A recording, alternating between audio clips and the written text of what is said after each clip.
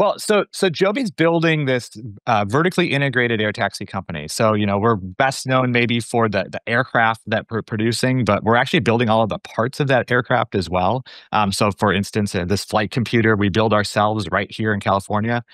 We're building the whole stack all the way up to the customer, including the technology. What Blade's done is build a fantastic customer experience, and uh, and they have a, a great uh, set of customers that are using their service on a daily basis. And so, bringing this together uh, is really advantageous as we're getting ready to go to commercialization uh, with the aircraft that we're building. So, talk to me about what the long term vision is here for the company, but also for this partnership.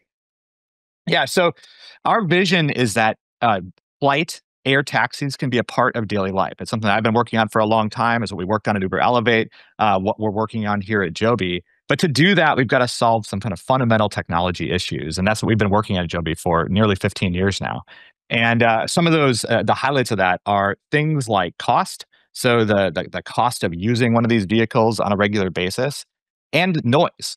So, what we've done with the technology we're building with that aircraft that you can see right there is that we've brought together the best of what's happening in, in electric vehicles, applied it to aviation, built a completely novel architecture uh, from the ground up that we are building and certifying with the FAA, and that we're gonna we're gonna be able to deploy uh, to customers just like they use helicopters today uh, with Blade, um, but with a much lower uh, acoustic footprint, uh, something that people are gonna want in their neighborhoods as opposed to, to not wanting in their neighborhoods, and uh, and, and, we think that that's a, an amazing opportunity to make life better, make travel better, make commuting better uh, for people all around the world.